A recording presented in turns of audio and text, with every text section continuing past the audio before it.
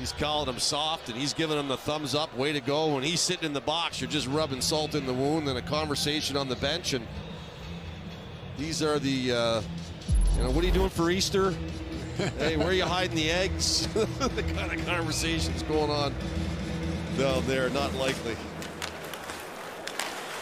Come on, off, off for Savard. He'll dump it in around.